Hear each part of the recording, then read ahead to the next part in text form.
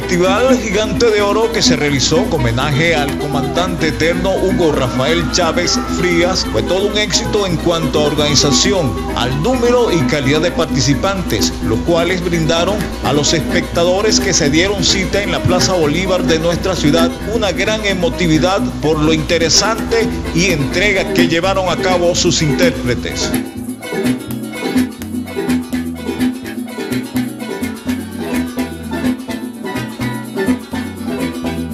La representación del municipio Zamora fue la encargada de llevarse la mayor parte de los galardones en sus diferentes modalidades y categorías, demostrando que entre sus canteras se encuentra un gran potencial que interpreta, baile y ejecuta nuestro tradicional joropo llanero, esencia que identifica el folclore venezolano. Este primer festival contó con más de 120 participantes de todos los municipios del estado